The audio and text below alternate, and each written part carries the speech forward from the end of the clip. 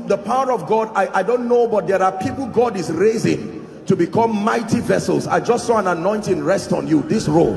In the name of Jesus, I don't know where you are, but I pray may that grace now, let it rest upon you and shift you to a new dimension. In the name of Jesus Christ. Welcome to Christocentric Message. On this channel, you are going to get soul-lifting messages, faith-based content, prayer drills, and videos that would help you grow spiritually. Remember to subscribe to the channel, like the video you are about to watch, and comment on it. Stay blessed.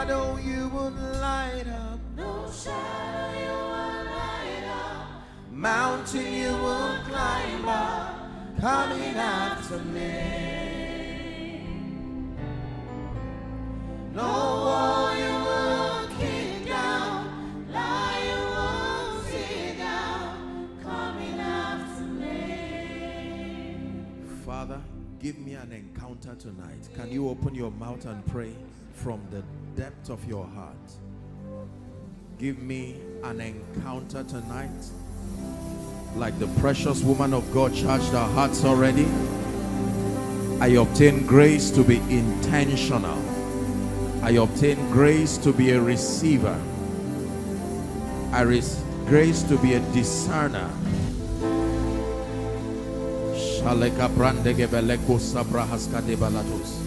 Someone is praying. The day that be planted in the house of God, they shall flourish in the courts of our God.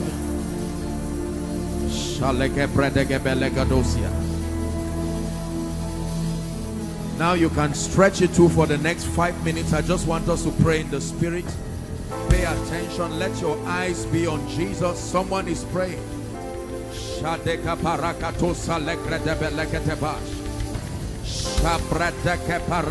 paraduko sobrendekebelekedos ende griata paratos shalagrebedekebelekatos someone is flourishing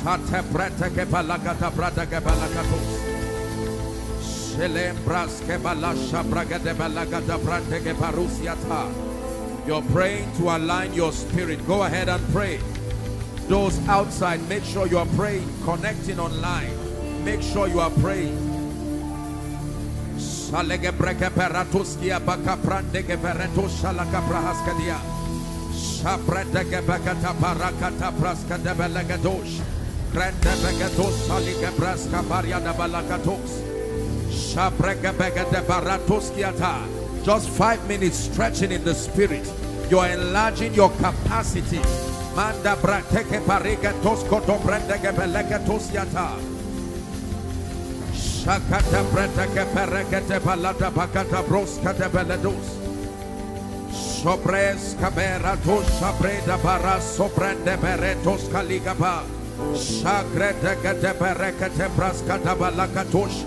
Manta prataka parakata parata gata belagata parakotosh. Skada brandas kata belagata bagata bakatosh kaprata kepas. Manta prakata parata kata frante kepereto kaso prate gates. Imbrata barato sosegata belagata priakata. A few more minutes, you are praying now. Parakatos kaliga bras keberianta kashkala barusiata.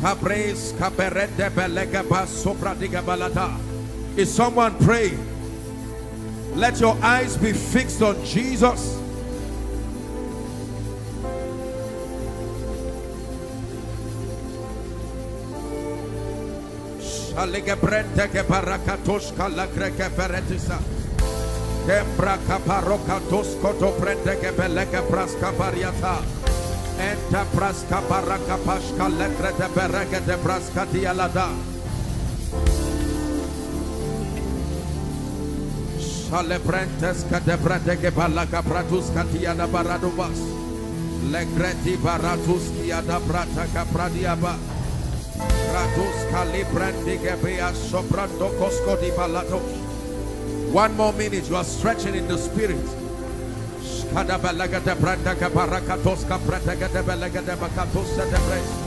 Shadi brende ke baruska lika branda gabaratas ki abada. Sabrate ke parandas kabarata balakata braska de baladosh. Shanda baska namada balakata branda gabaretos kotosh. Imbrata parata kaskata branda gade. Shabrite paratos koto barusiata.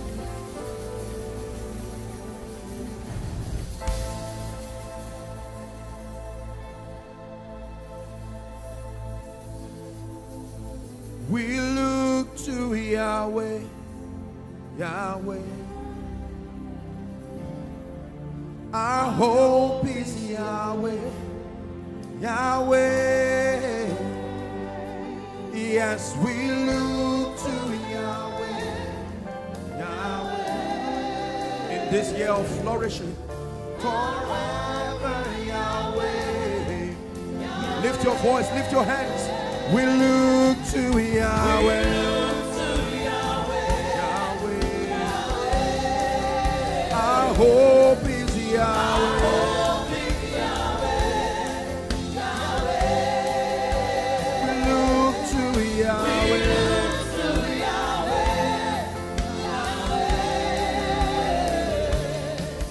Forever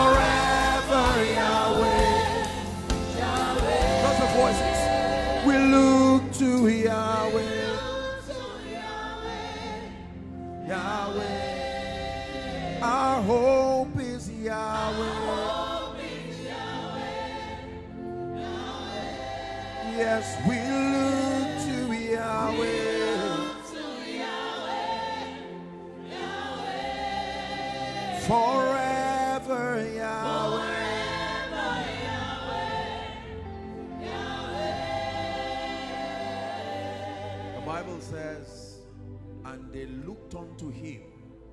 their faces were lightened. When Pastor Mildred was up here, she said, For as long as the cedar that is in Lebanon and the palm tree, for as long as their gaze is upwards, they keep going upwards.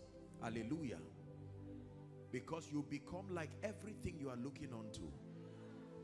Jacob knew that secret and he would get the animals and cause them to look in a direction and the Bible said they reproduced to look like what they were looking at.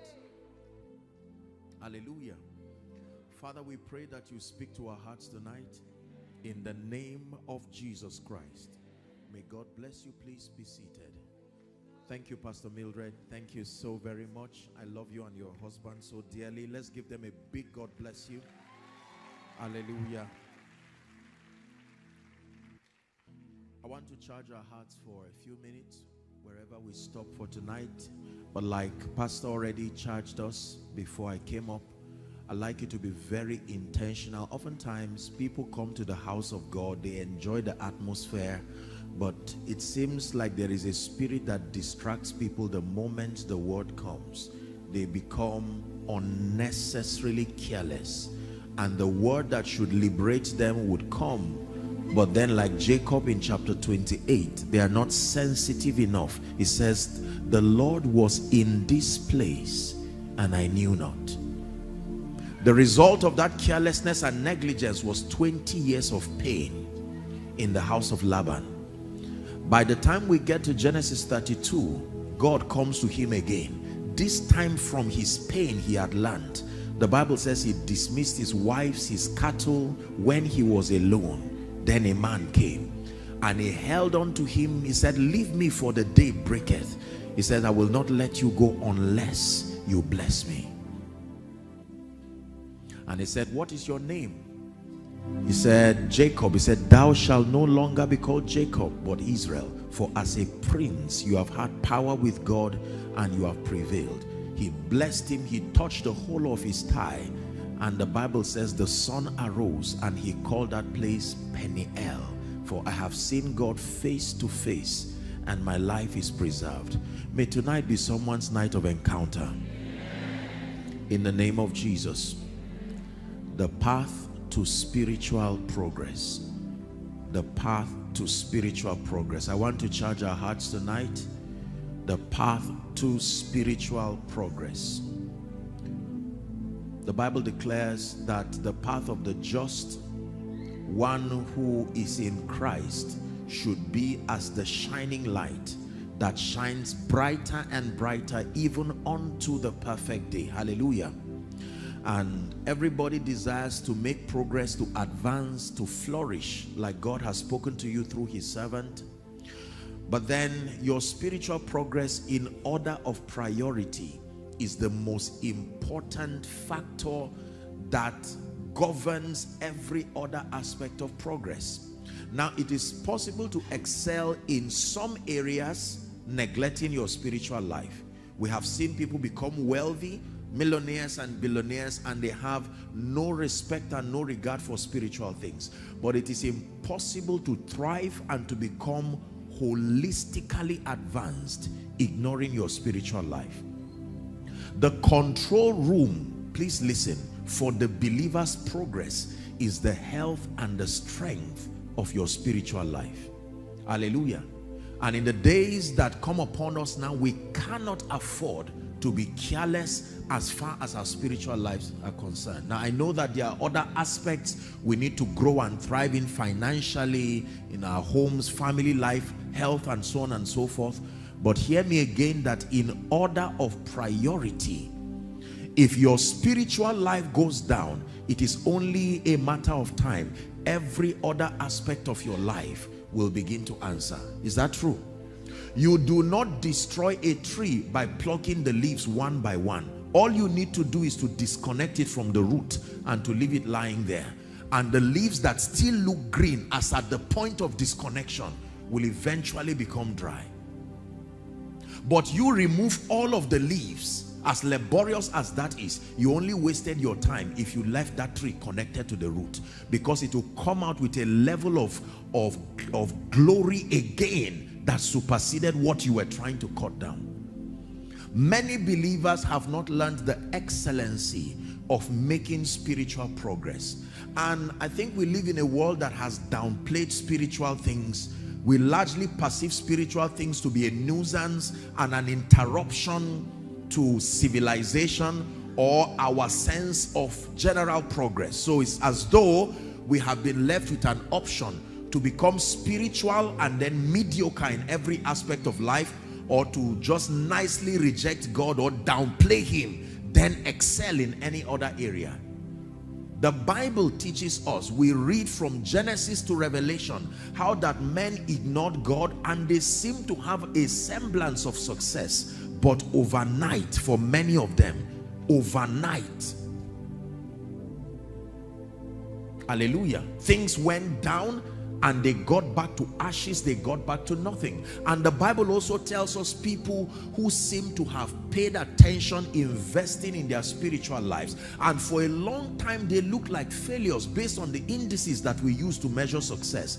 And as though overnight men like joseph you would call joseph a failure.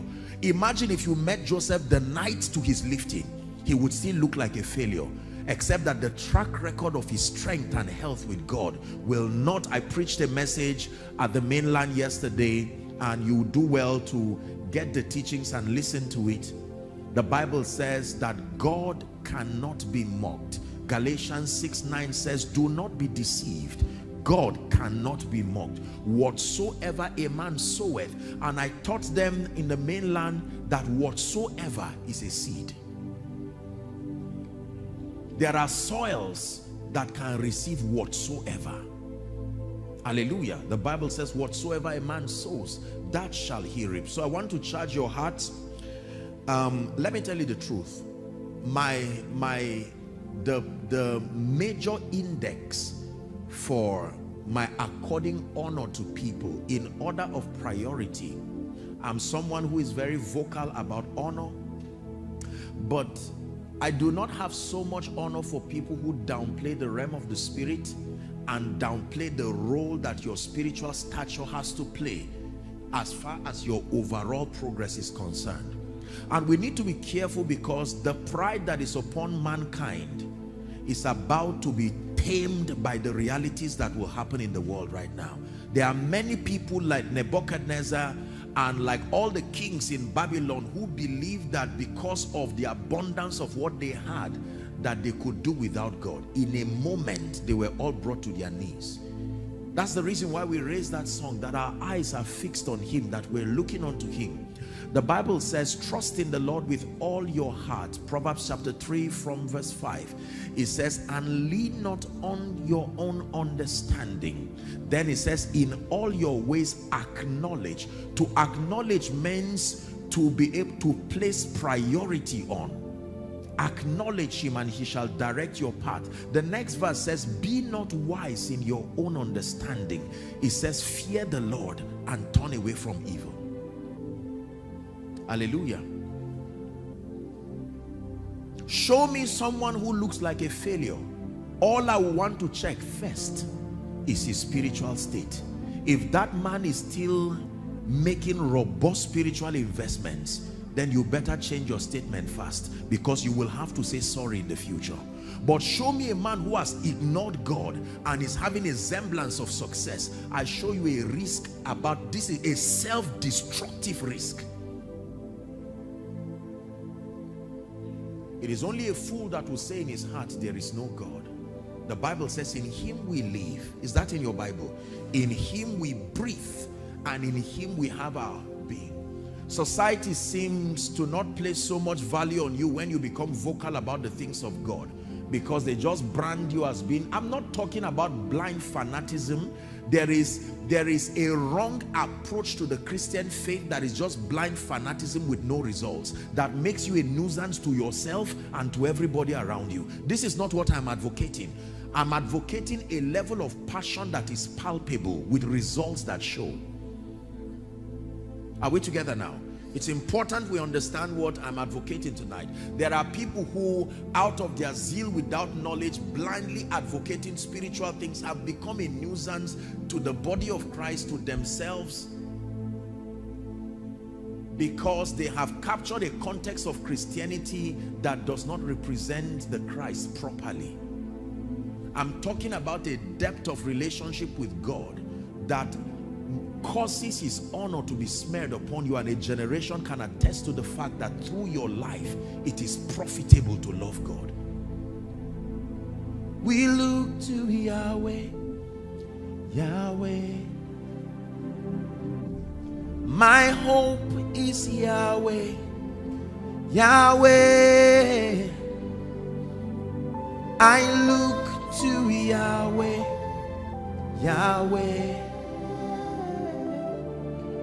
forever Yahweh. Blessed be the name of the Lord. Galatians chapter 4 let's start from verse 1 the Bible says if we can have KJV or the new no no problem. Now I say unto you KJV says that an heir for as long as he is a child. That is a condition there. An heir meaning a bona fide beneficiary of an inheritance. But there is a condition that that person must get out of to be able to walk in the fullness of that status of being an heir. It says an heir for as long as he's a child differeth not from a slave. That means the experience of that one if you put that person side by side to a slave you would not know who was the heir and who was the slave. In other words their experiences will be the same negatively speaking. An heir for as long as he's a child there should be an honor and a garment of glory that is upon an heir. Is that true? But it says for as long as he's a child so the problem is that state of childishness. And Paul helped us to understand his concept of childishness in First Corinthians chapter 13. He says, when I was a child, I thought like a child, I spoke like a child, I understood like a child. So these are the dimensions that capture childishness. He says, now that I have become a man, I have laid these childish things away. When I was a child, I understood, I thought, I spoke as a child. But now that I have become a man, I must lay aside childish speaking, childish understanding. Is that true? And childish thoughts. The path to spiritual progress. God desires that we excel spiritually and that from the foundation of our spiritual progress, very beautiful description that Pastor Mildred was given, that from the root it goes down and then it begins to spread.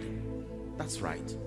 So, if your spiritual life is robust and alive, it then becomes that every other aspect of your life begins to respond. It may not happen immediately. I love what the pastor shared when I came in. I heard him say something that was powerful, that you bear fruit with patience. Hallelujah.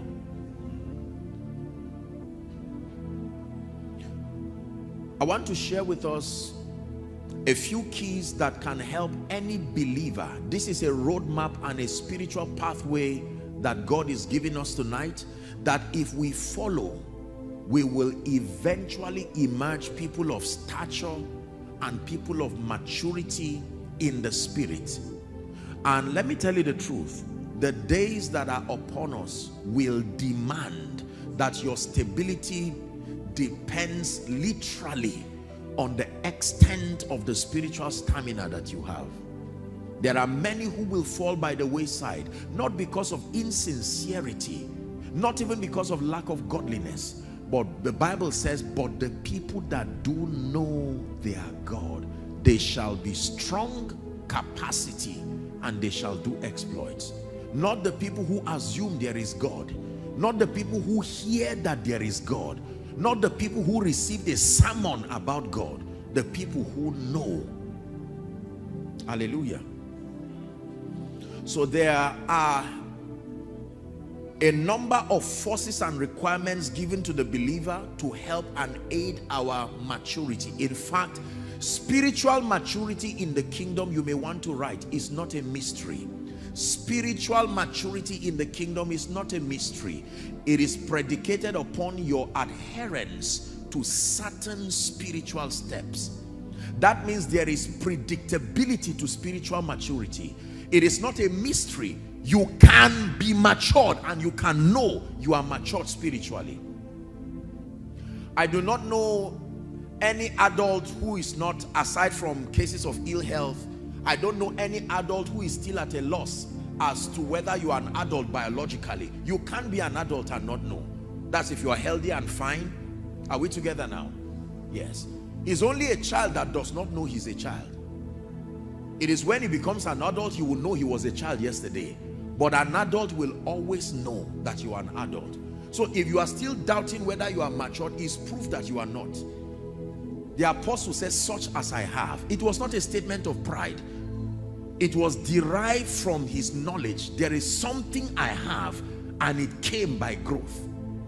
In luke chapter 2 and verse 52 the bible speaking about jesus said and jesus increased. Every time i read that scripture it inspires me. You would think because jesus was the word incarnate there should never be a reason for increase. And yet jesus the word he still grew. He increased in wisdom in stature and in favor with God and with men. Hallelujah. Praise the name of the Lord. So the Bible is very clear as to the fact that there is a demand upon us to grow and that there are possibilities that we cannot step into except and unless by growth. Are we together? Many of us here, I presume, are parents. No matter how you love your son or your daughter, you cannot take a child of five, six years, even a child of 10 years under normal circumstance and give them the keys to your car. no matter how they cry and beg it is love that is responsible for that restraint not because you are insecure you love them too much now the child will believe arrogantly that he can drive but as the parent you know that it will be wickedness. There are certain givings that are not proof of love. So many of the things we ask God for our maturity cannot host it. We keep praying and say lord open certain doors. Give me certain things. The restraint is not because god does not want to give. His character as a father is that he's a giver according to bible the proof of fatherhood is not just having children It's in your benevolence. If you being evil know how to give how much more shall your heavenly father? So when you call him abba you also call him a giver. But that he is giving to you is not just predicated on his ability to give nor your desire to have but your growth and your maturity there are certain levels of prosperity anointings graces influence that cannot come to you except and unless by growth Moses was already called to be a deliverer but that childish, spiritually speaking, version of him could not be a deliverer. He had to be at the backside of the mountain for 40 years. And then from one encounter to another encounter, when he had attained a state of maturity, God now mandated him and said, you go back. Can I tell you, there are many of you who have had visions, you have had dreams, you have received prophetic words, you have seen from scripture that which God intends to do. I am telling you that in many cases, it may not just be demonic, is that you have refused to grow to a state where what God gives you becomes a blessing. I hope you know that immaturity can make good things become evil. Hallelujah.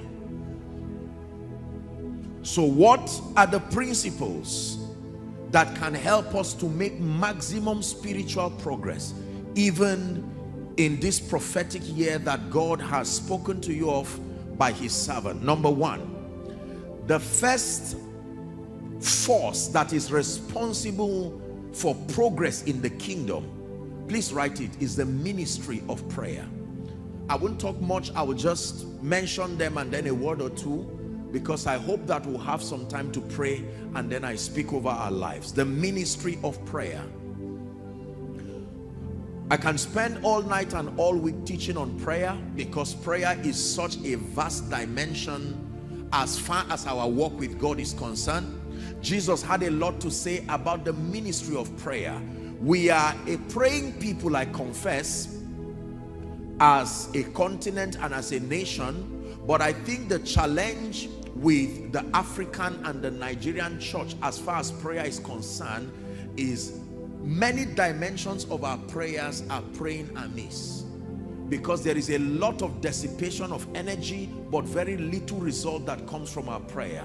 There is a lot of engagement but there is no intelligence that follows our prayer.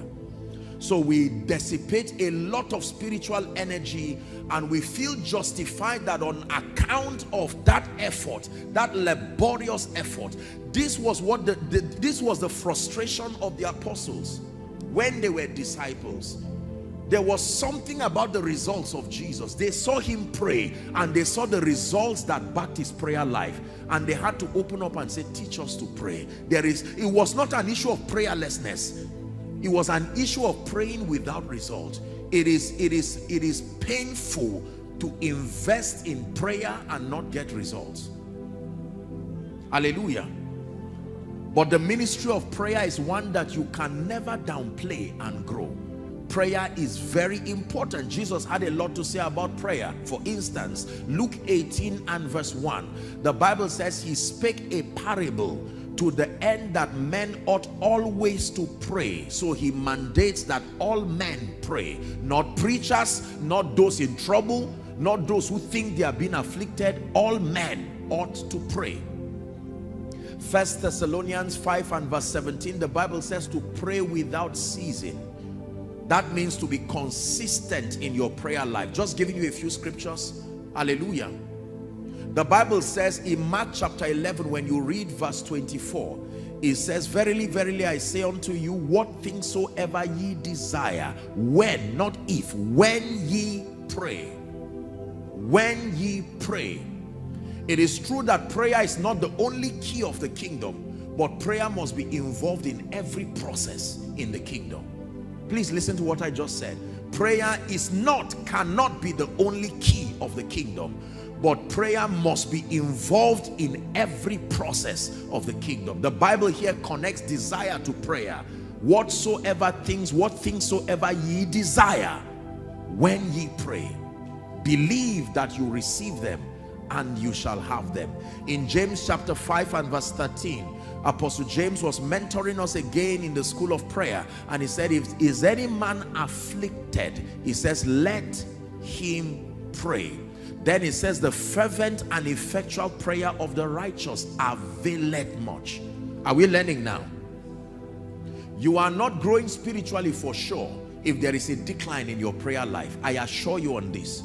If you downplay prayer and prayer becomes a necessary burden that you just have to go through, you are not going to grow spiritually. There is a role that prayer has to play in the growth and the maturity of the saints. Let me just run through four of them very quickly, still on point one. The first assignment of prayer in the life of the believer is for growth and transformation. You may want to write it down the first assignment of prayer in your life is for your growth and transformation.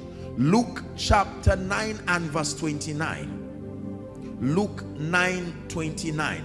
The Bible says, And as he prayed, the fashion of his countenance was altered, and his raiment was white and glistering prayer transforms you. What does that mean? When you engage yourself and submit yourself to the ministry of prayer backed up by the spirit it is able to begin to open your organs of interaction with the realm of the spirit. The absence of discernment spiritual carelessness is a product of prayerlessness. So many things happen but you have not sustained the faculty to perceive to discern. Hallelujah. In fact the bible gives that one of the recommendations for getting out of temptations is to watch and pray.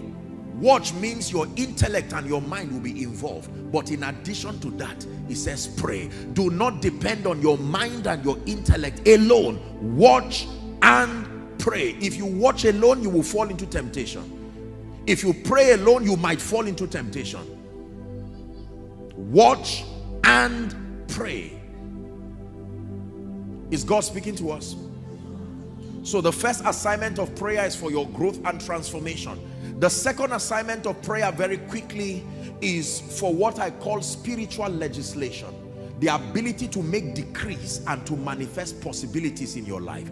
If you are not rich in your prayer life, there are many things that will not be captured in your experience because many of those things will come through the power of decrees and creation. If we are together, say amen. amen. Hallelujah. Very, very important. Most people do not know. In fact, Job 22 and verse 28 says, it says that thou shalt decree a thing. Job 22 and 28. 22, 28. 2228. Hallelujah. Thou shalt also decree a thing and it shall be established what will be established is not what you want, is what you decree. And you decree in prayer. Are we together? That in the name of Jesus, the Lord is my light and my salvation. That when men say there is a casting down for me, I decree and declare that there will be a lifting up. Is that someone's testimony? So this is the year when you don't keep quiet. When you hear that something is killing people, AI is not the response. In the name of Jesus, I decree and declare that I am covered. The Bible says, they that dwell in the house of the Lord, that they shall flourish in the courts of our God. Is that true? That even in old age, they shall be fat and flourishing the assignment of prayer is to give you the responsibility of working in partnership with the Spirit to design and create your possibilities. Do not complain about a day that you did not speak into. Listen, listen. Don't assume you understood what I just said. Do not complain. You have a responsibility. The Bible says, this is the day that the Lord has made. Is that true? He makes the day, but you now fill that day with the possibilities that you want and that happens through prayer. He said, Has thou commanded thy morning? Many people are careless. They stumble into days, they stumble into seasons, and they wonder why negative things are there. When you fail to sow a seed in your farm, something will still grow. It is called weed. Agriculture defines weeds as unwanted plants. They are plants, but they are not wanted, at least not in the farm. And I will not be silent. I will always worship you as long as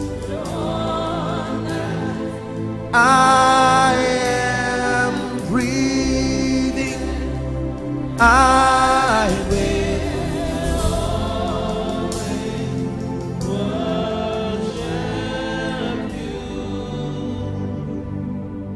prayer gives you the responsibility to walk in partnership with the Holy Spirit. January, you are blessed. February, you are blessed. I call you by your name. I'm about myself. Don't say amen for me. March, I declare you are blessed. April, May, June, July. In the name of Jesus, all that I see in my life is the glory of God. I reject everything that does not carry the image of God in my life.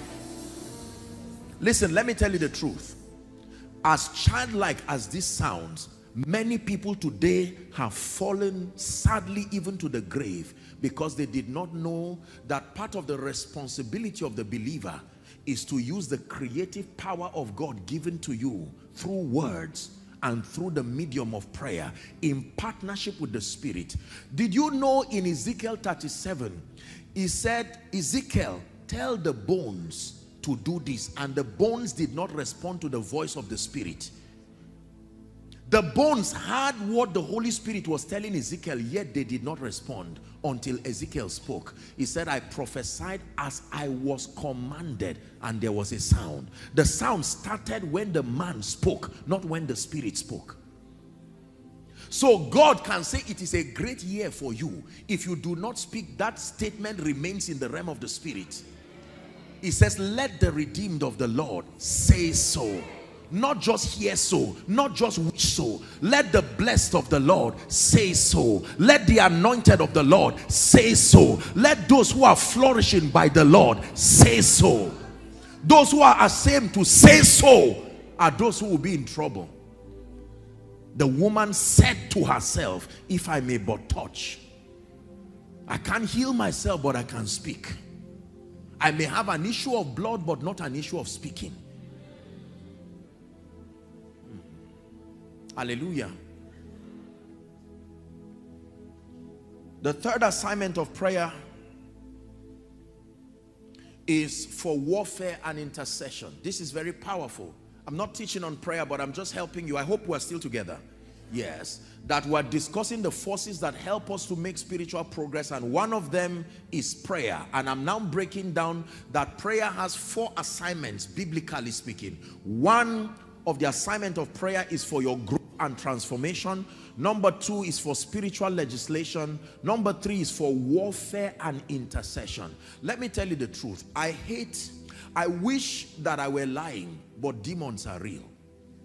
Look up please. Wickedness is real. The bible tells us without confusion that the whole world lies in wickedness.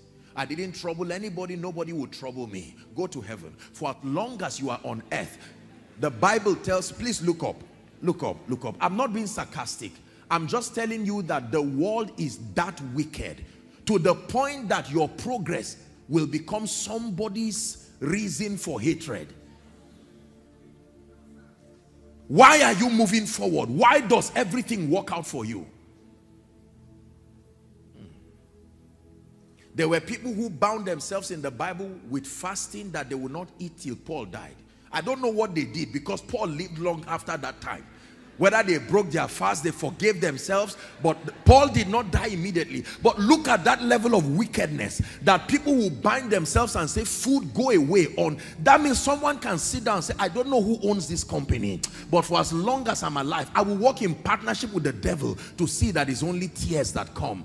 This is the assignment of prayer that you can redesign and redirect your possibilities and say satan minus me minus your children you decree and declare Hallelujah. It is true. Spiritual legislation and then warfare and intercession. You can establish spiritual realities in your life. No sickness will come and bring me down to the grave. No. I, I, have a long life to live serving the purposes of God. Lord, you spoke to me through my pastor that I'm flourishing. Therefore, they say that this thing affects everybody in our family. But I make a decree in the name of Jesus that there is a superior blood, the blood of the eternal covenant that speaks better things even than the blood of Abel. And I appropriate that blood over my life and my health. I will not be a victim of these demonic patterns. Let me submit to you. Hoping and wishing that one day it will magically get out of your life is a joke. You will need to pray. There are families where people don't rise. It is true. You've seen everybody, you've seen those who went before you tried to rise and they went down. Don't take for granted. These forces are vicious, they show no mercy. It takes the ability to engage the forces of the spirit, especially the forces of the blood, to keep the enemy at bay. God did not leave us in the dark as to the fact that there is a structured demonic organogram Paul in his exegesis began to list the cadres. He says, for we do not uh, wrestle against flesh and blood. Is that in your Bible? But against what? Principalities, powers, rulers of darkness and the spiritual wickedness that reside in the heavenlies. He now begins to teach you that Jesus himself is head over principalities. He recognizes their existence. You are the only one who has denied it.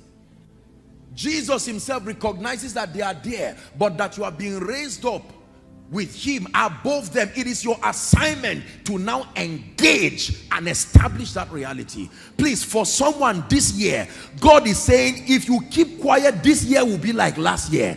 It's time to pray and say no more. 2023, I engage, I decree and declare that in the name of Jesus, my business must reveal Christ. My life must reveal Christ. Apostle, don't talk to me about last year. It was a horrible year. Don't worry. Remember ye not the former things, nor consider the things of old. But it is your assignment now. Every year will be like the last, except your prayer changes it.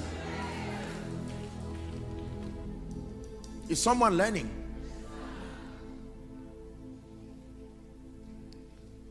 Hmm.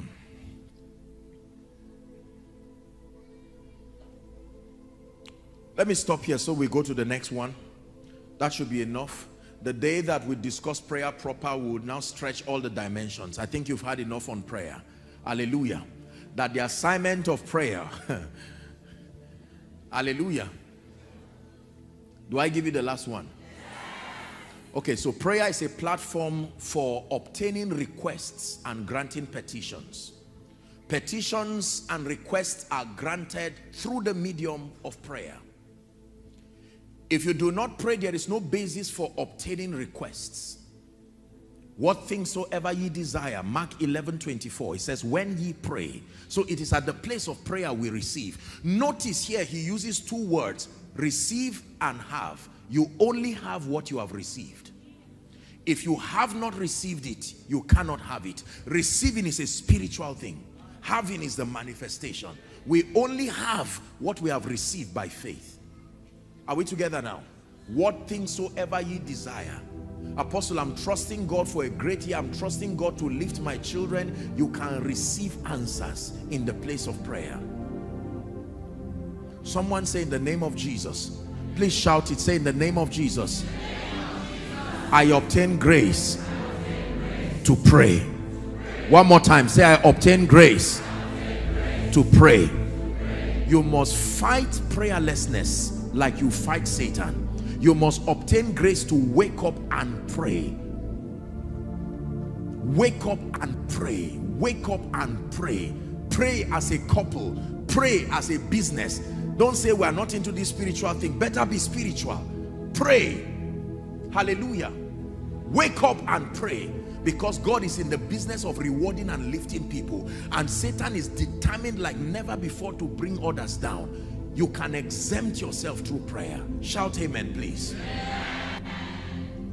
the second force that is responsible for spiritual progress in this kingdom is the ministry of the word.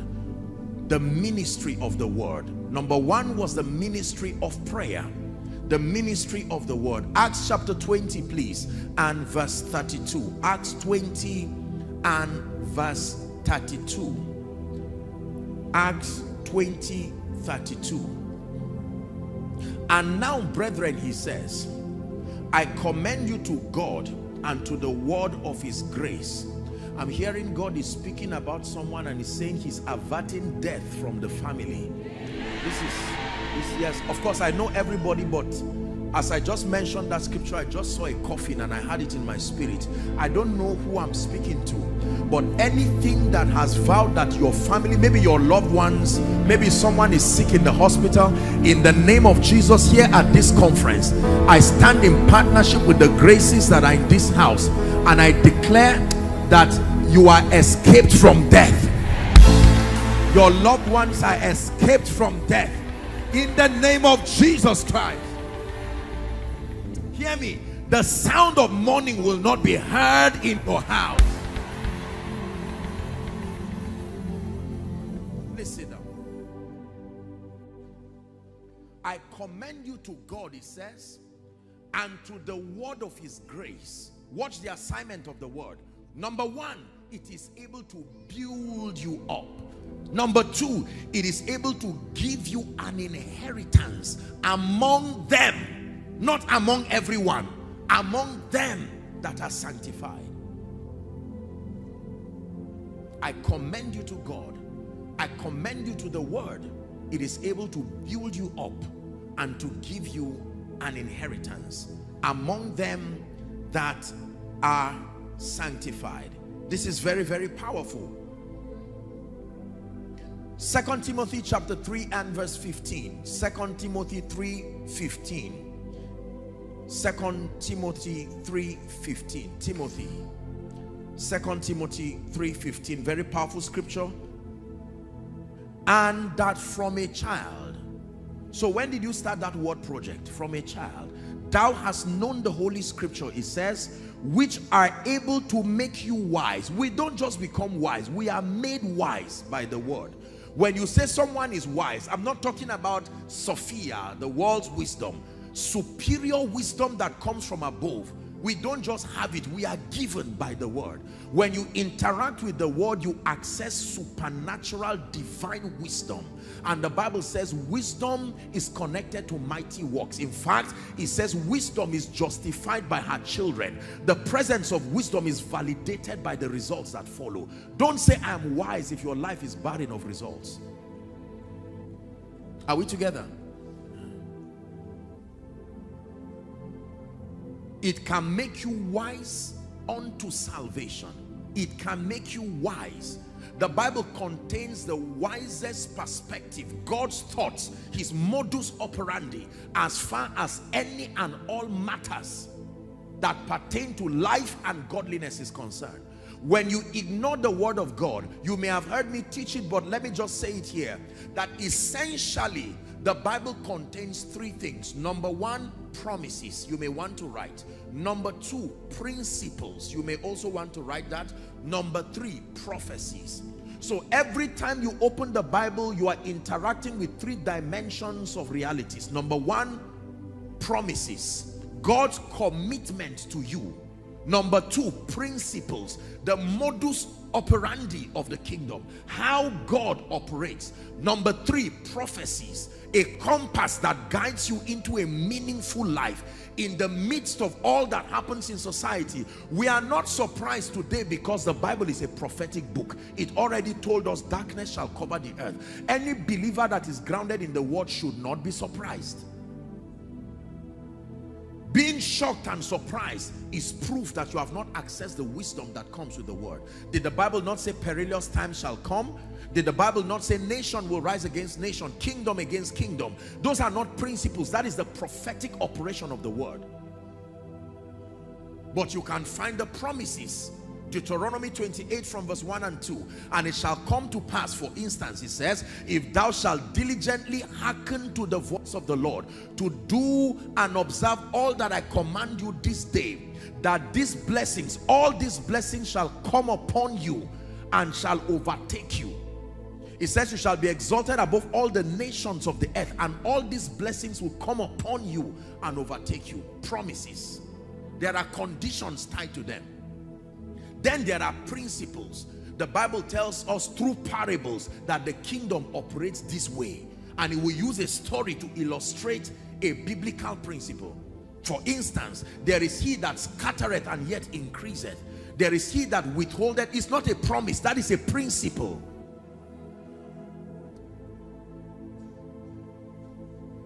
When you reject the word of God, you have rejected access to superior wisdom. When you reject the word of God, you have rejected access to superior wisdom. And the Bible speaking about wisdom, it says, by me kings reign and princes decree justice. It said, with me are riches, wealth and honor, yea, durable riches and righteousness, that those that seek me early will find me. There is timing to wisdom. You must seek it early. Is someone learning now? This is the year that you must obtain grace. Go and get pastor's materials and settle down. Don't say I was there when they preached it. Faith comes by two kinds of hearing. The hearing that gives you information and the hearing that gives you understanding. It comes by hearing and hearing, awareness and comprehension. Just because you are aware that that subject matter was discussed does not mean you have received. Is someone learning now? Yes. You know, most believers are careless about the word and they do not know. Please look at me. Ah, show us the ancient path. Will you lead us along eternal highway? We want to follow the ways of Jesus. We want to enter. Please do not allow the devil to deceive you that the word of God is a is, is a necessary luggage that you have to carry. Contained here are stories of people who have gotten what you are looking for. Is it prosperity? You will find it here. Is it the lifting power? The Bible here, written here was a shepherd who became a king. Written here was a prisoner who became a prime minister. How high do you want to rise that the word of God does not have something to tell you? Written here are dead people who came back to life. The Bible archives their testimonies in the book of Hebrews 11. It says, for by faith the elders obtained a good report. Then you begin to read, through faith, this happened, this one happened. It says the things that are written aforetime, they are for our learning, so that we through patience and the comfort of scripture might find hope. Apostle, right now my health is failing. Go and read the book of Job and I will show you a man health failed and it was a global news and yet he still came back. Apostle, you don't know how much I've lost. Still read the book of Job and see a man who was the richest in the east and everything plus his children died. But I love chapter 42 and verse 10 of Job. It says, and God restored Job when he prayed for his friends that he had twice the things that he lost everyone who rejected him suddenly started coming. And the bible says everyone brought him a piece of money apostle people misunderstand me in my office. Go and ask joseph and his trouble with potiphar's wife. Good people can go to prison too but they only go to prison to end up in the throne. The prison is where good and bad people meet together just like the cross but I can tell you, sincere people don't remain in the prison. The same way sincere people do not hang there and remain there.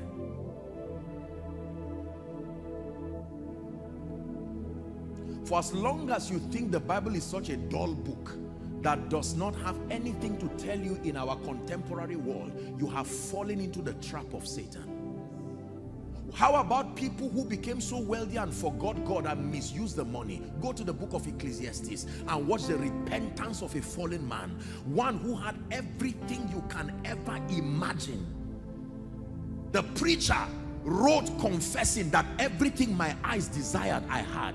Do you know what level of loss that is? That you don't have control. Anything your eyes saw, you carried. And instead of reading many books, there is no end and much study is a weariness to the soul. Hear the conclusion of the matter. Fear God, he says, and keep his commandments, for this is the whole duty of man.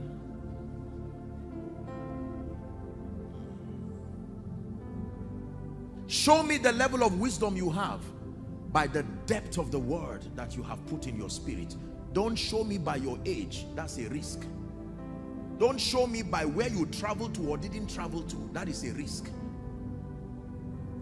I only call you wise to the degree to which I see the word of God resident within you. The wisdom that comes with age is profitable, but very limiting in the light of current realities. The wisdom that comes through academics is very useful, but you have seen experts to their knees. The things that are happening in the world today have caused people to rethink their concept of intelligence. But there is wisdom that comes from above and that comes by the word. For someone, God is telling you, don't allow the devil keep deceiving you. You may not have a job, but you have a Bible. Start there. Use the time and start there. Father, open thou my eyes that I may behold wondrous things from out of your word and you will find where it was written concerning you. The Bible says in Luke chapter 4 that Jesus came and the scroll of Isaiah was given to him and he found where it was written concerning him. There is something written concerning you, but you must find it. When he found it, he said, this day is this fulfilled in your eyes.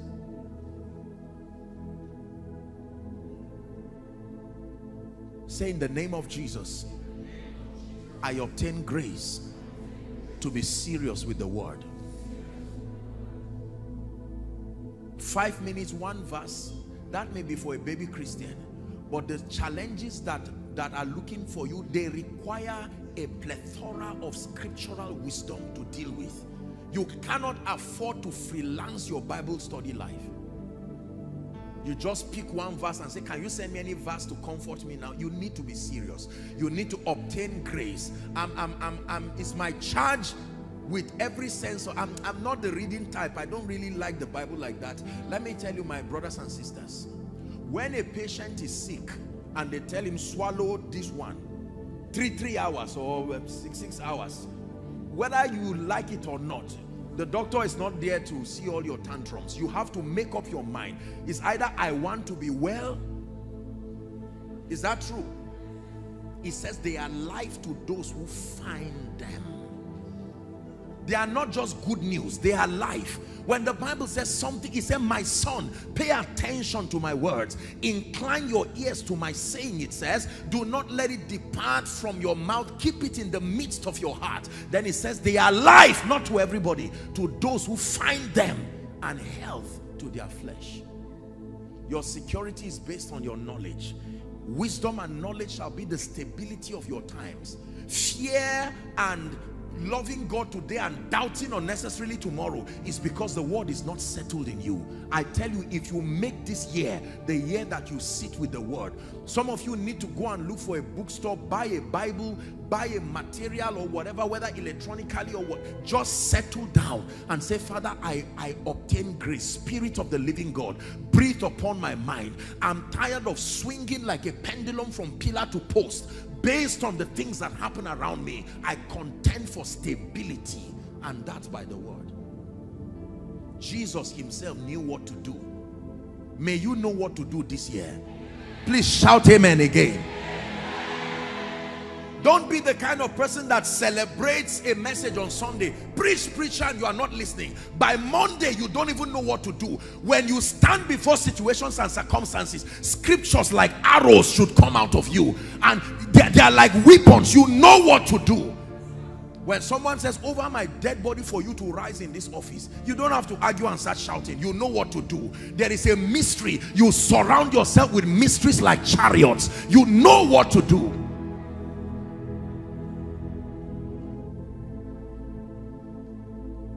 It's like calling your pastor a woman and he begins to cry. Is that not an issue of a disturbing issue? There is a depth of revelation that has translated to trust that settles within you that you know I'm a man, not a woman. So if someone says, I think you're a woman, that's, that's, uh, that's thank God bless your, your perception. And I pray there will be enough doctors who help you when it becomes but as for you, you are settled. That's the same way when someone says you're a failure. You don't just speak unbelief. No, no, I'm not a... Mm, mm, mm, I already know.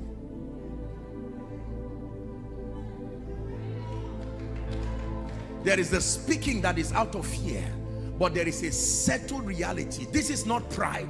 Jesus said before Abraham was, I am. He was not lying.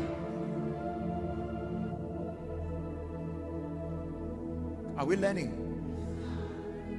The ministry of the word. Please, if you if you don't get anything among the things that I shared today, leave this place with a renewed passion to stay with the word. Make it a project. It takes discipline. Concentration is not a gift. You have to settle down and make up your mind. Sleep, hold on, I'm studying. You will enjoy me when I sort some things in my life. But for now, you need to stay. Don't join people who, the Bible says on the seventh day, God rested. You are resting on the second day. We only rest on the second, on the seventh day. Many people are resting on the first day resting on the second day a ceo that has labored for years is now resting you who just graduated you are also resting no sir let's learn from scripture we rest on the seventh day you're just starting ministry no influence nobody knows you we are not even sure whether you are saved or not and you are resting I must walk the works of him that sent me while it is day. It says, for the night cometh when no man can walk again. Are we together? The Bible says a diligent hand shall be made fat. You find that in scripture. Then you go and apply it. Seven o'clock you get up and you open your business. Say, what are you doing? I'm just starting. It takes diligence to establish credibility. Someone can be sleeping and people will call him because of a relationship that has been built for 10 years. You are just starting. Don't lie down and expect somebody to call you. I hope we're still together. Please obtain grace to stay with the word.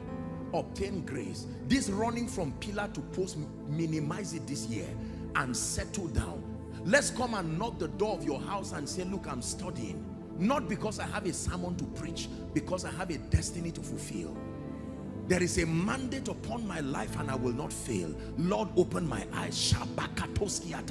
And you are studying and light from heaven enters you. And like someone who is drunk, you begin to rejoice. It says, I found your word and I did eat it and it was a joy and a rejoicing to me. I sense in my spirit that David's Christian Center will record phenomenal testimonies this year. That, listen, there, there are supposedly, for want of word, ordinary people, pastor, who as at this conference may be sitting quietly, but by March, when they come to stand here, they say, my life is a testimony that the word produces. Listen, carry beans or maize seed and keep it on top of your table. It does not grow because although it is seed, there is something you must do with it. Are we together now? Yes. Many people have gotten precious seeds, wonderful seeds, but we are not engaging it. The ministry of the word. Number three, so that we'll wrap up. I believe someone's spirit is being fired up this night. And let me just say this. Beware of people who don't even know they are being used by the devil.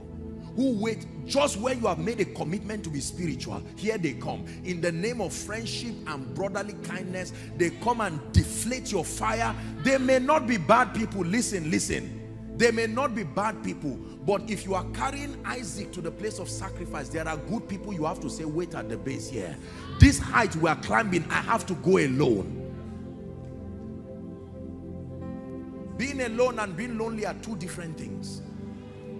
you must sustain the courage to move the direction of your destiny, even if it means editing people.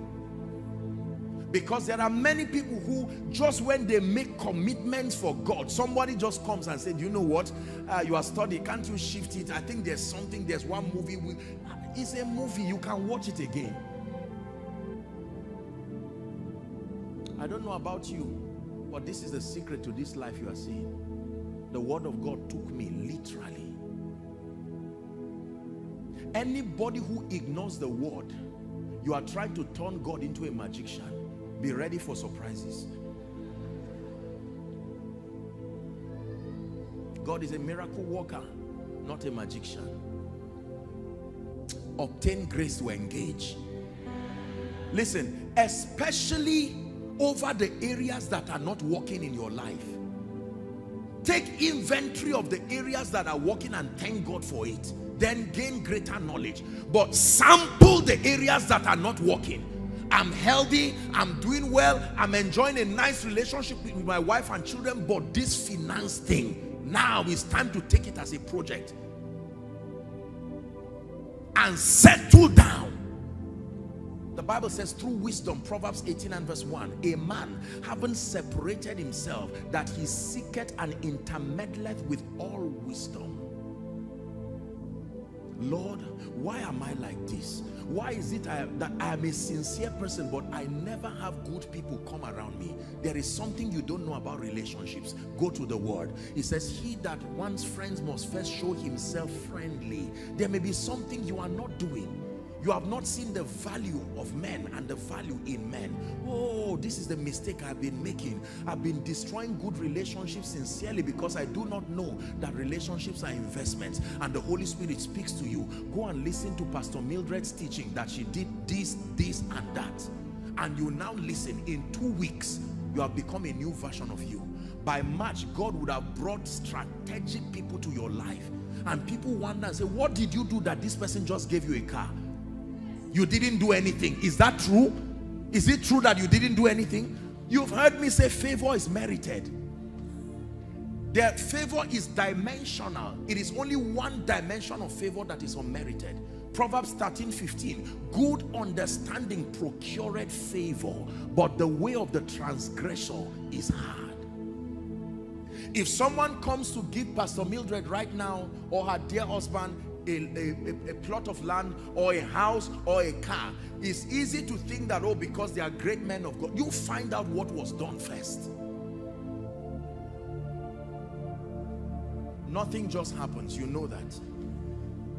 So it's time to make your own happen. In the name of Jesus the force of the word.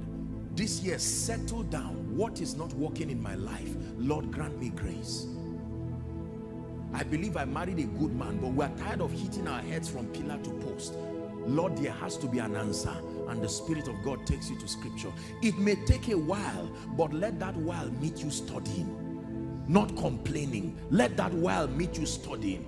Lord i've been in lagos for 10 years and i've not gotten a job. Someone just came to david's christian center in two weeks and he got a job. What am i doing wrong? This is not jealousy or competition. This is is you are you are provoking yourself to godliness. Let me tell you until you get angry with some things and get dissatisfied they will never leave you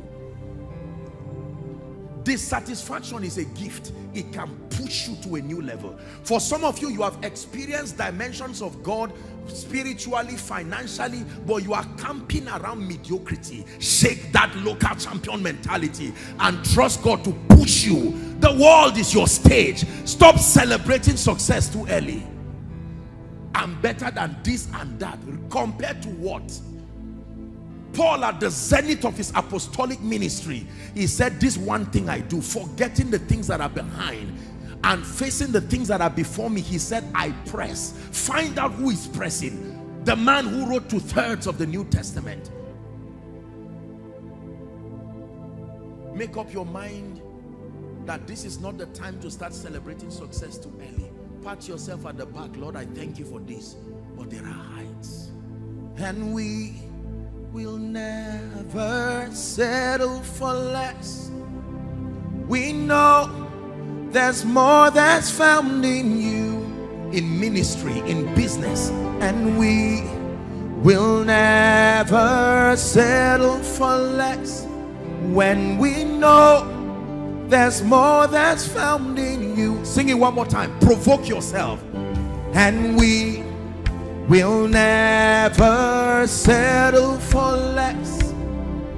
We know There's more that's found in you. Apostle, but I'm a mighty prophet. Compared to what? Have you turned Nigeria's problem overnight? Watch prophets in the Bible who said by this time tomorrow Thank God for what you have seen, but you are still at the infancy. I am a great teacher compared to what? Paul who spoke before Agrippa, before Felix, and he said, you almost converted me. As hardened as they were. Let me tell you this. The spirit of a champion is the spirit of a presser.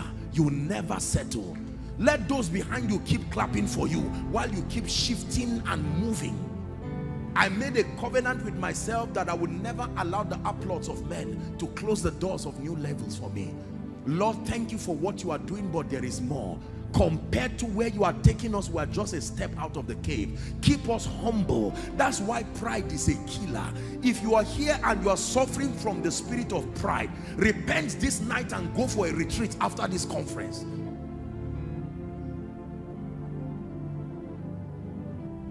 People brag over nothing, just little results.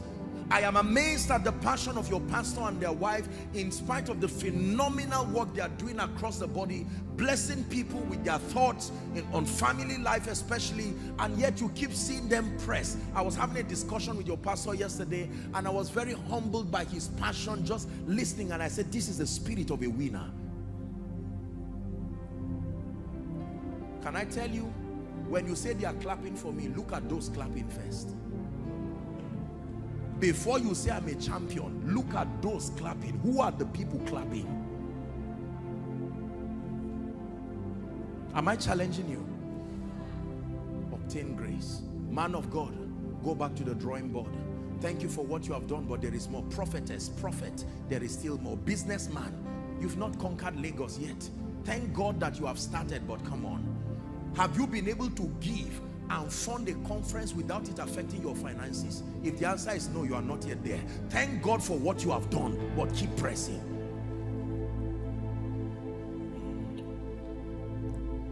Number three, we have to close.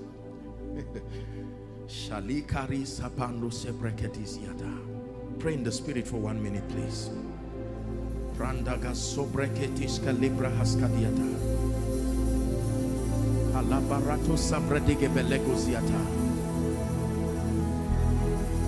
Hallelujah. Number three, very quickly. We're wrapping up now. The third spiritual force that is responsible for helping believers to make spiritual progress is called discipleship. Please write it down. Every apostle was once a disciple. The word apostle there should not be limited to preacher. It just means one who is sent. That means without training, your being sent is only a risk to your destiny. There are many believers who will never submit themselves to be structurally mentored. You see, a disciple is simply a student and a learner. Please look up. I love you with all my heart and I'm standing to share the burden of your pastors this year. Graduate from being a member to being a student. I always say it when I'm speaking, uh, you know, I, I tell our people, fans don't have any inheritance. I am a fan of this. That's wonderful. I believe they are well-intentioned. But the only people who receive are those who are students. It is from the word disciple that you coin the word discipline, the staying power, the resolve to remain until you become. Jesus called them to be with him first before he will send them. There is no champion who just goes to the ring. You first stay with a coach.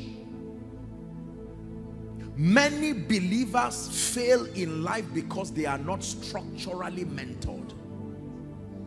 They freelance knowledge here and there. The assignment of the local assembly, the assignment of Pastor Kingsley, Pastor Mildred, according to Jeremiah 3.15, he says, and I will give you pastors or shepherds according to my heart, and that they will feed you. Huh? They will feed you with knowledge and understanding. So your pastors are like spiritual chefs. They feed you week in, week out. That means every spirit that fights you from coming to church and then to settle down. Don't come to church and be browsing and be smiling and be doing all of these ones. I mean you know if you are smiling for joy but that you are distracted you are in your own world by yourself while fire is coming from the altar. No. If you're too big to be discipled then the throne is not for you. I assure you on that Many people have made a shipwreck of their lives and their destinies through pride. They will not settle to listen. Jesus, surprisingly, even though he was the word incarnate, at age 12, when his contemporaries will probably be running up and down the bible says jesus was at the temple learning under the scribes. The law that he was coming to abolish he still submitted himself to that system. And for 18 years we don't hear about jesus again. The next time we hear about him he's age 30 and john speaks and says behold the lamb. Jesus did not just succeed because he was the son of god. He submitted to learning For someone, God is telling you you are destined for the throne, but not this version of you. You need to settle in church. You need to be properly mentored. In Acts chapter 2 and verse 42, the Bible says they continued steadfastly. Acts 2.42, you read it down to 47. Acts 2.42, they continued steadfastly in the apostles' doctrine. Is that in your Bible? And in fellowship, and in breaking of bread, and in prayer. The next verse, as a result, the Bible says, and fear came upon every soul, and many wonders were done by the apostles. Let's go to Acts chapter 19 from verse 1 to 4 very quickly. The Bible says Paul having passed through the upper coast that he came and he found certain disciples. Acts 19 from verse 1. It's just 1 to 4. But let's just look at verse 1. He found certain disciples, not certain members. They were saved, but they were disciples. Now notice, the person who discipled them was limited himself. So they were taught after the limitation of that disciple. They were saved, but they were not filled with the Holy Spirit yet. Only God knows what more you need to learn. Thank God for what you know. But what more you need to learn. And Paul asked them, he said, have you received the Holy Ghost since ye believe? Verse 2. And they said, we've not even heard if there be any Holy Ghost. Paul was surprised. Wow. Unto what baptism then were you baptized? He asked them. And they said, the baptism of John. They were discipled but limited. That's the reason why you should salute your, your pastors for being fast to be open to receive the diversities that are in the body of Christ because they do not want this to become your state. And Paul now began to explain to them that the baptism of John was the baptism of repentance right? That they should believe on who should come. And when he had now spoken to them the bible says that they were baptized in the name of jesus and he laid hands on them and they were filled with the holy ghost and they spoke in tongues they prophesied and the bible says the number of them was 12 12 of them make up your mind that this is not the year you give excuses for coming to church. No. as a matured believer if you have to be coerced to come to the house of God I sincerely respectfully believe you are not serious. Hallelujah. I was glad when they said unto me let us go to the house of the Lord. And when you come to church from the opening prayer to the grace. You are attentive. Lord what do you have for me today? My children are the mercy of this revelation that is coming. And as the word is coming you are attentive. The bible says the man looked at them expecting to receive something. Discipleship. Submit yourself to learning buy books submit yourself to knowledge and that also extends to people in business find someone who is clearly ahead of you and unashamedly submit to learn Find someone who is clearly, if you are not sure, don't go there. You need that gap, that potential difference has to be there for you to receive. Colleague mentality is why every, many people remain grounded. I'm not sure if I should receive this or not. But when the difference is clear in results, you will listen attentively. Learn from all men, but find those with potent results and follow. The Bible calls them the them who through faith and patience have obtained the results, have obtained the promises. Apostle, I'm doing business, but it looks like this, my business is not working well in Lagos. There has to be somebody born again and filled with the Holy Spirit in that area. Submit yourself to learning there is something I do not know. It is amazing how humility can buy you something in one day that may take many people 10 years. The person may not tell you the answer you are looking for. He will only say, sit down, let me give you a story. My journey started from 1971. That's your revelation there. It's your responsibility to fish out the one he is telling you stories. They kept me under a bridge and I remember that night I cried unto the Lord. I said, mercy. Uh-huh. You are learning now you are writing all the keys. You see let me tell you something. Masters are so professional sometimes when you watch them you don't see the steps. You will have to trust God for grace. Okay this is what this person has said. And then you go and do likewise. And you come back with results that looks like you held a charm. There is no result that cannot be reproduced. If Jesus's result was reproduced there is no result that cannot be reproduced it is either ignorance or pride. May you reproduce fearful results in the name of Jesus, the Son of the living God. The last key. Has God spoken to someone tonight? Hmm. Are you ready? The last key that helps people to make spiritual progress in this kingdom is service. And I'll stop here service. Service. And there are two dimensions to this service. Number one service in the house of God. And number two the service of a witness. Don't forget what I taught you tonight. The forces and the keys that guide us to make spiritual progress. Number one the ministry of prayer. Number two the ministry of the word.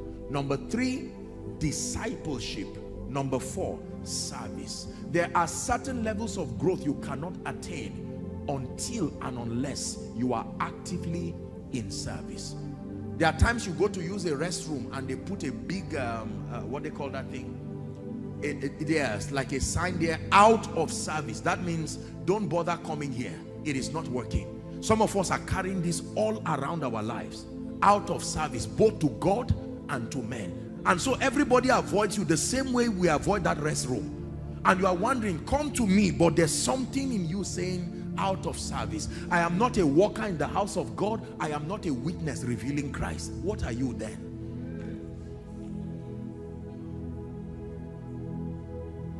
Hmm. But I've seen certain filling stations that have queues and you see beautiful cars queuing there. You are wondering don't these people have anything else to do? They are patient because those stations are so in service. Sometimes late into the night people still wait. May you be like that in the name of Jesus Christ that nations will come to seek the hand of God upon you. And let me tell you there are many of you people will inconvenience themselves with joy and say we have discerned that the hand of God is upon you. We cannot but look to your direction. I'm prophesying to someone in the name of my God and the one who lifts men everybody who needs to find you and to be a blessing through your life and to bless you through their life in Jesus name may your service attract them to you.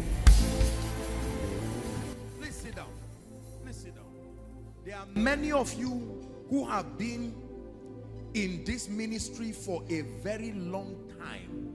Exodus 23 25 is a deep mystery that God taught me and I've had the privilege and the honor of teaching our workers if you serve God just because the pastor and his wife are say your tribesmen or they are sad because they know you and there's no way you can run away you can't lie that you are working you are staying in their house or some kind of flimsy excuse you must serve God by revelation It says, and ye shall serve the Lord thy God, and he shall bless. It's a covenant. This is called the covenant of service. You shall serve the Lord, and he shall bless. Service does not mean coming to church.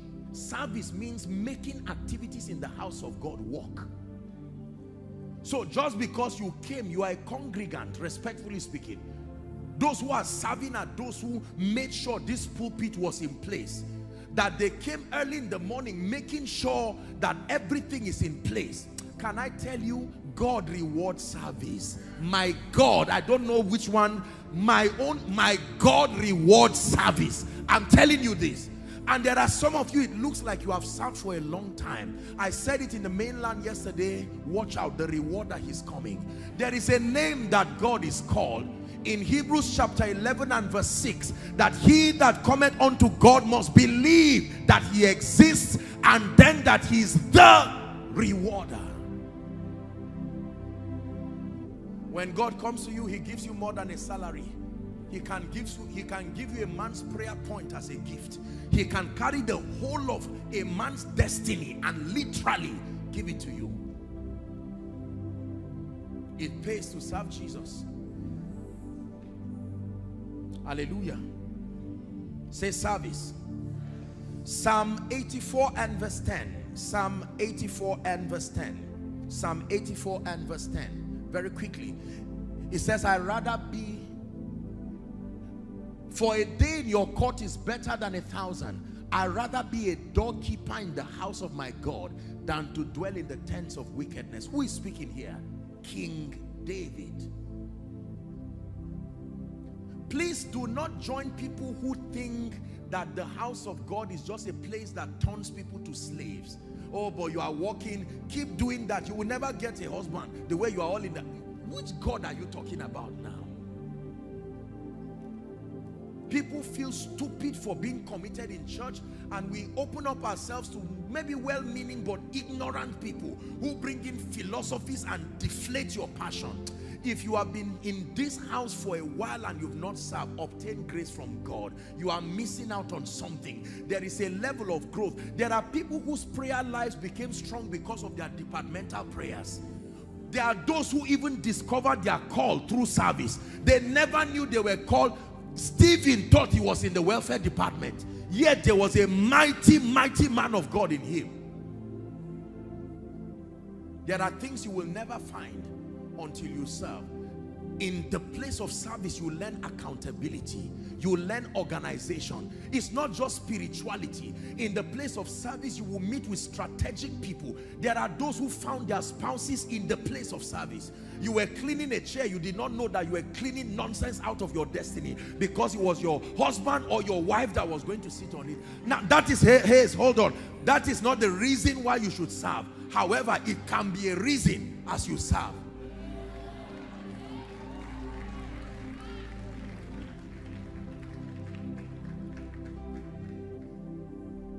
There are people who found strategic destiny helpers while serving. They were so early cleaning the church and God directed a billionaire to come. Where is your pastor? He says not around. He said, who are you? Well, I'm this and that and that. Why you, you look like you're a nice person working. Do you have a job? No, sir. How many years? 10 years. No job? Can you become the African director of this company? And it's as if he want to scam you. You want to run away. And he said, no, no is what the blessing of the Lord can do. I know it sounds funny, but there are people who have what I'm telling you as a testimony. May you be the next one. In the name of Jesus Christ. Let me tell you this. Years ago, I went to preach in Mubi. And the man who was driving me, they had been trusting God for the fruit of the womb for a long time.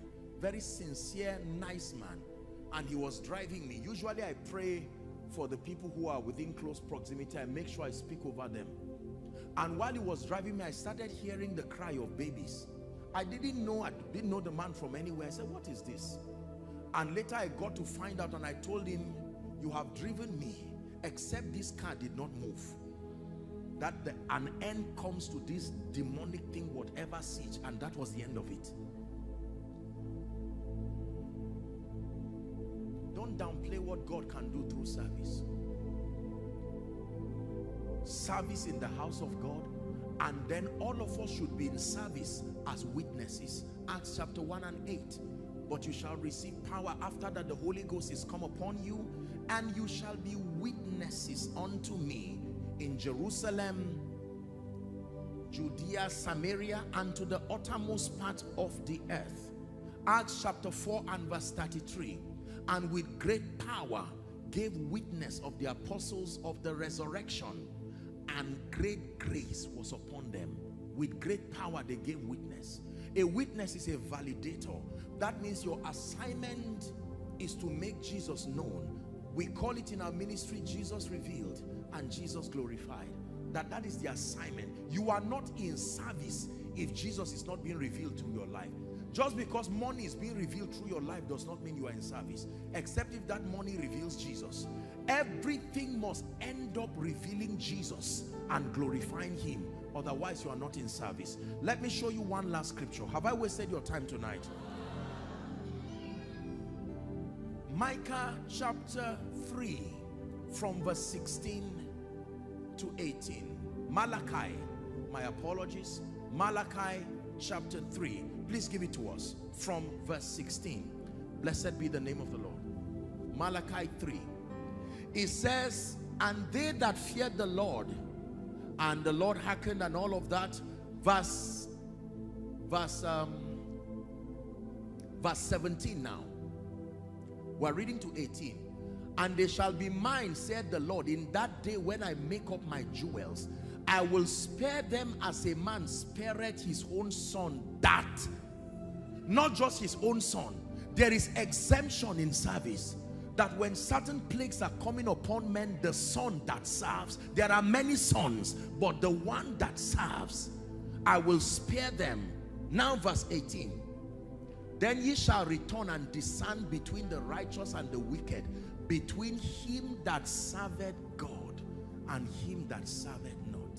That means there are things God does in the life of a man that you say we are all Christians. But what is the difference? One is in service. One is out of service. I choose to be in service. I choose to be in service. More than the word servant is not supposed to be an insult if you understand what it means. A servant is not a slave. A servant is one who willfully has submitted himself to serve the king. And this God that we serve is benevolent. You can serve your way to favor. You can serve your way to breakthrough.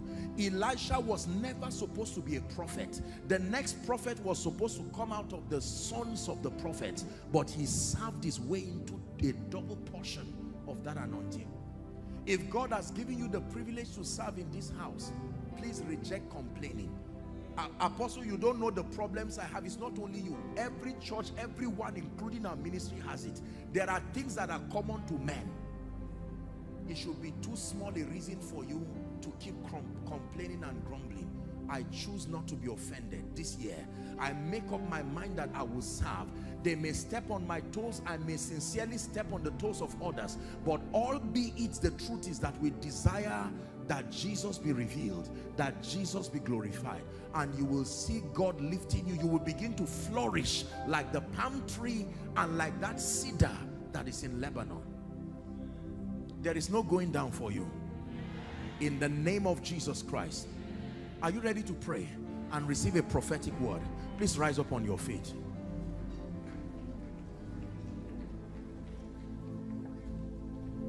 Thank you for sparing me the time. I'm going to give us two prayer points. Then I speak over our lives and we're done. Please, I'd like you to pray. Let it be from the depth of your heart. I believe that a cloud is about to shift over someone's life right now. Just two prayer points. These four forces, the force of prayer, the force of the word, discipleship, and service, obtain grace to walk in them. You want to make maximum spiritual progress. Lift your voice and begin to pray. Are there people of prayer? Everywhere, inside, outside, following online. I'd like you to begin to pray. Let it be from the depth of your heart.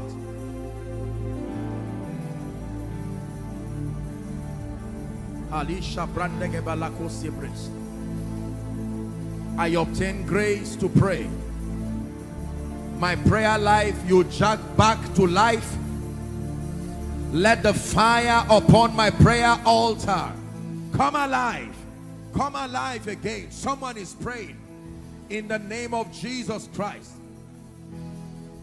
I submit myself to the word of God.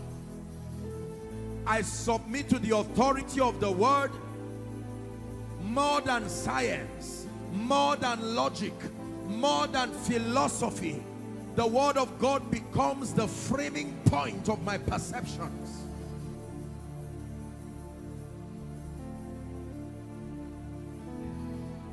Obtain grace to submit yourself to discipleship. Submit yourself beyond being a member of David's Christian Center. Submit yourself. Lord, I will learn. Thank you for Pastor Mildred. Thank you for her dear husband, Pastor Kingsley. I submit in the name of Jesus. I take them as pastors you have given me. I submit to wisdom. I submit to learning. I submit to rebuke. I submit to instructions.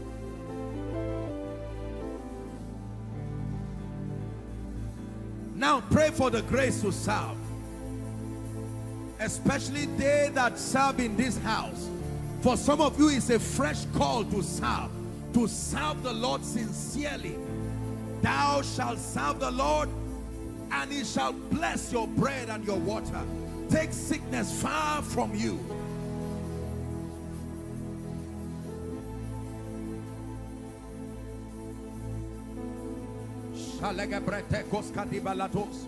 You are a leader in this church. I want you to begin to pray. A renewed commitment to serve with my resources, to serve with my heart, to serve with my gift and my talent, void of offense, void of dishonor, to serve.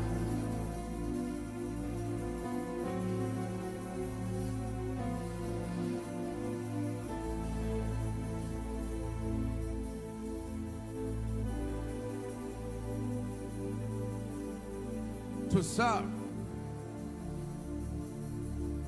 As a husband, the grace to serve your family with diligence and responsibility. As a wife and a mother, the grace to serve your husband, to serve your children. As a leader, the grace to serve, not to lord over.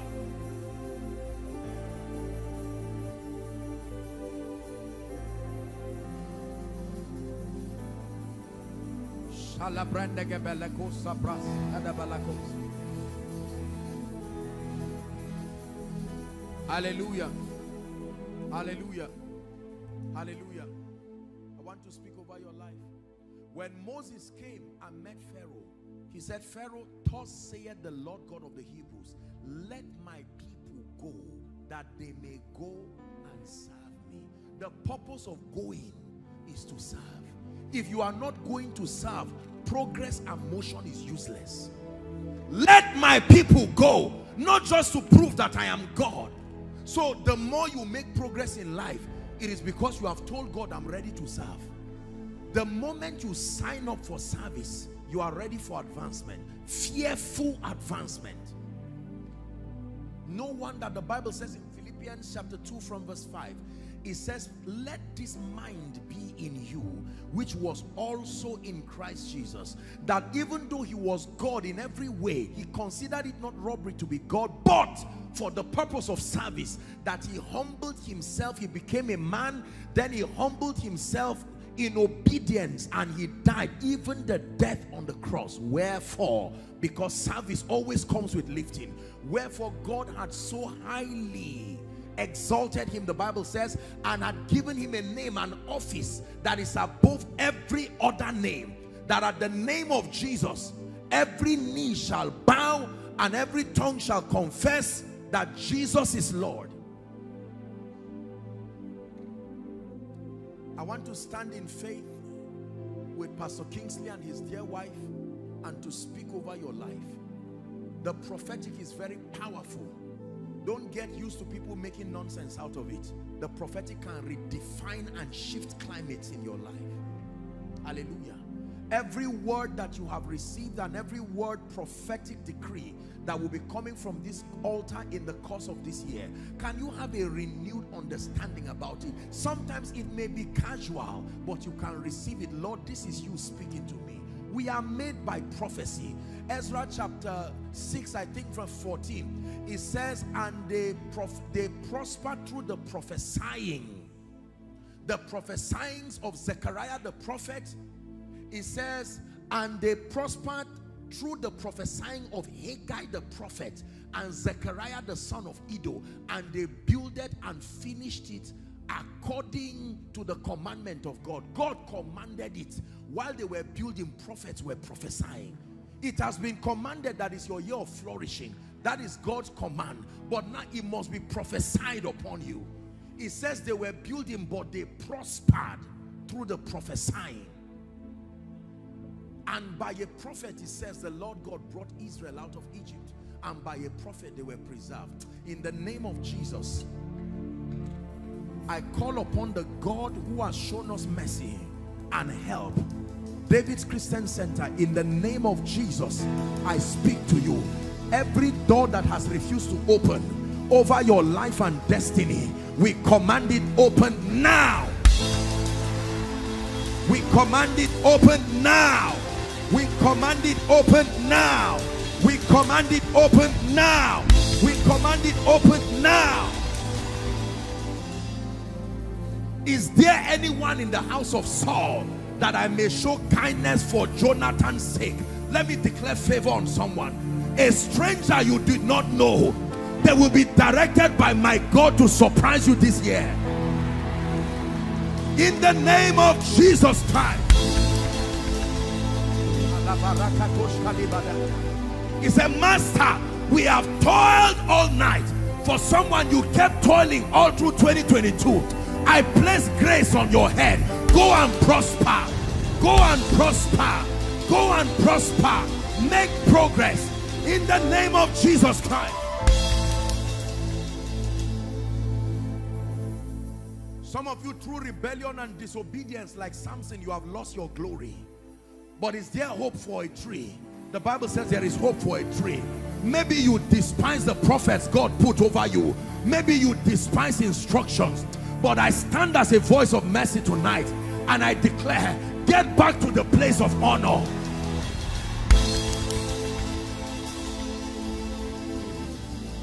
The prodigal son, through pride and rebellion, he was now degraded to a point where he was feeding with swine the Bible let us into his contemplation and he said, how many hired servants has my father?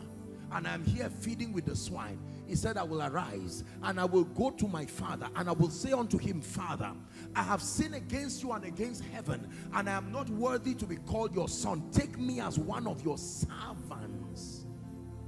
And while the father saw him afar off, he hugged him, kissed him, restored the signet ring, a sign of honor, put a robe upon him I don't know what you lost through dishonor. There was a grace God was blanketing this ministry with. Yet he did not speak in your life because you despise your prophets. In the name of Jesus, may the God of all grace restore, restore, restore, restore, restore, restore, restore. In the name of Jesus Christ.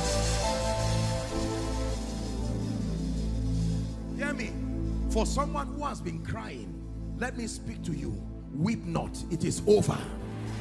In the name of Jesus Christ.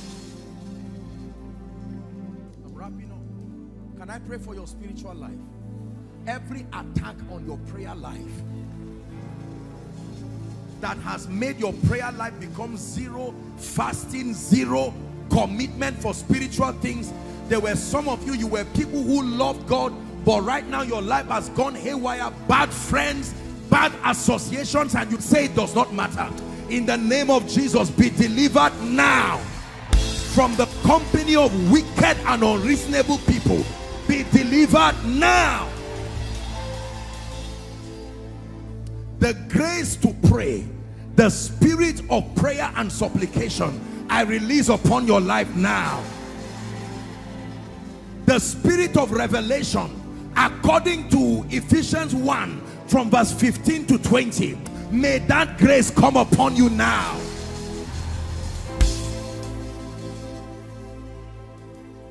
In the name of Jesus Christ. Can I pray for your finances? Please don't say it does not matter. It is not lack of wisdom. It is, not, it is completely lack of wisdom to say it does not matter. Don't join people who downplay the role that finances has to play in your life. Most people have compromised because of this finance thing. Are we together? There are people who love God walking in the dignity of kingdom integrity. Satan tried every other means and they did not fall. But he used this money thing and they fell like a pack of cards. It's not enough to say, don't do this, don't go there. We must be able to speak over your life. I hope you know that there is a dimension of prosperity that comes through prophecy. Yes, sir. It's not a license for laziness. Be valuable. Turn your value to products and services. Serve it to a targeted consumer base. But at the back of your mind, remember that there is a prophetic dimension to wealth. The prophet said, by this time tomorrow in the name of Jesus everything that should have entered your hand but was hijacked by demonic forces. I stand by the God of heaven. Please hear me. Between now and the end of January I stand by the God who called me. May my God surprise you. Now and January ending January may my God may my God surprise you. May my God surprise you. In the name of Jesus Christ.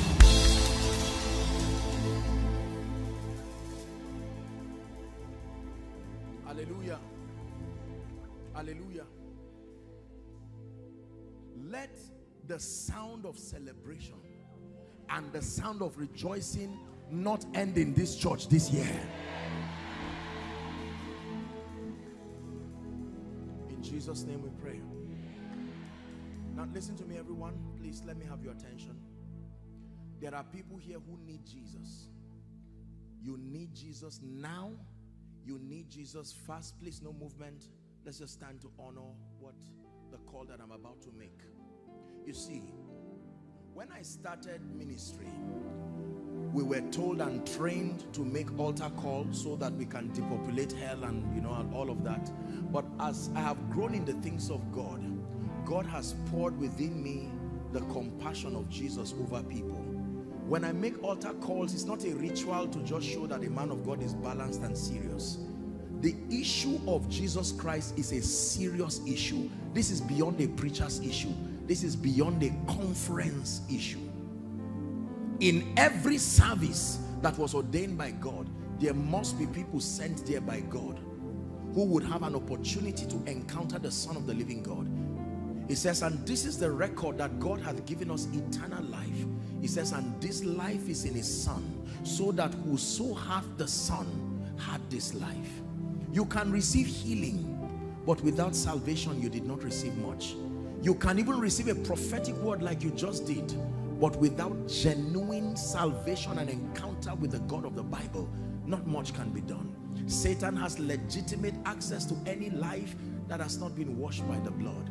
You may be here, outside, and for those watching by way of television or watching online, let tonight be your night. I'm standing here in faith with the angels over this house and I want to make an altar call. An altar call is not like coming to a funeral where people drag themselves in shame and come and stand before. No, it is an honorable call for those who are courageous enough to wave Satan goodbye and say, I have found Jesus the way the truth and the life and perhaps there are others who at one time you've given your life to Jesus but sincerely whilst you are here you know that things have gone haywire. You need to rededicate your life to Jesus. I'm going to count one to five. I'm out of time. I want you to boldly and unashamedly come to the frontier and come and stand in front. Don't don't wait for someone to be the first. I begin my counting. Leave your seat and come and stand here. Come to Jesus. One.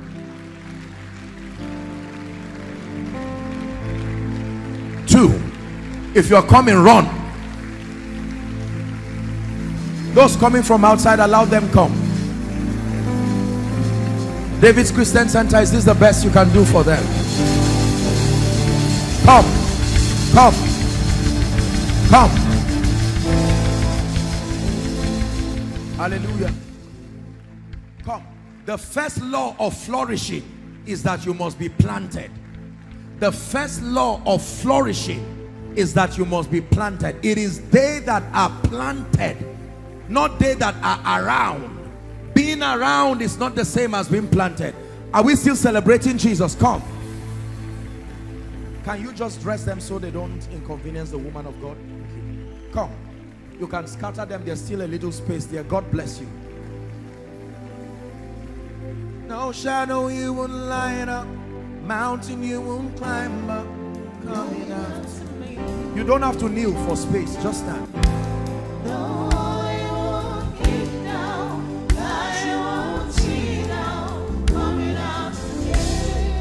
Hallelujah.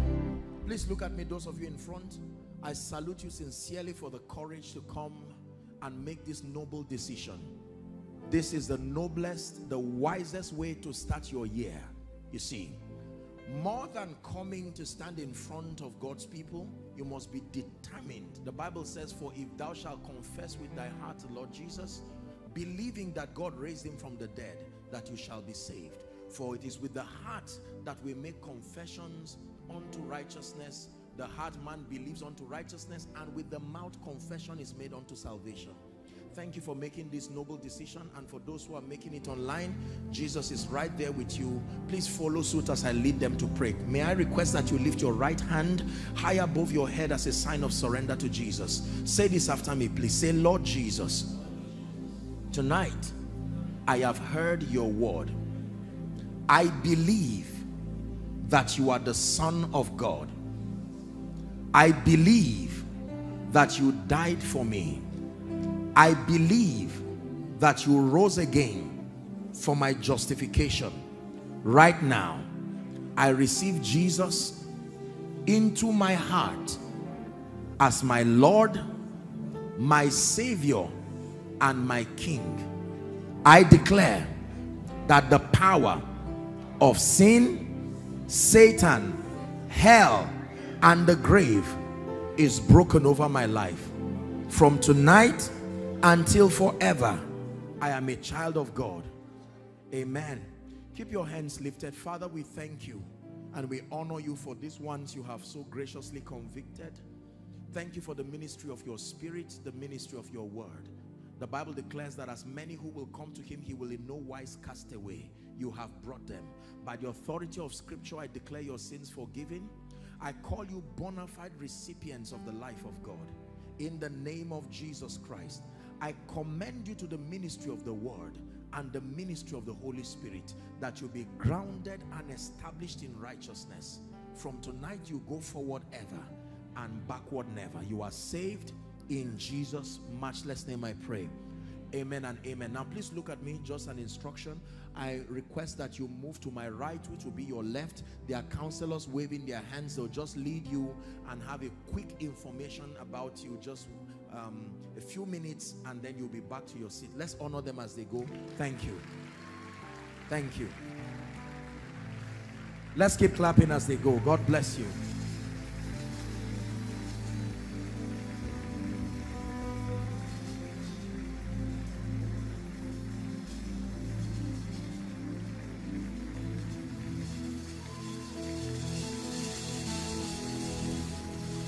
Hallelujah. Pastor Mildred, thank you so very much. May the Lord bless you. David's Christian Center, thank you so much. May the Lord increase you in Jesus' name. Hello, beloved in Christ. We hope this message was a blessing to you. I would want you to do something for us. If you are new here, kindly hit on that subscribe button for us and then like this video as well. Share to your family and friends to bless that this message will be a blessing to their body, to their soul, and to their spirit. We would need you to do one thing for us too. Tell us in the comment section where you were watching us from. And if you've got any testimony for us, kindly share with us. Thank you for watching.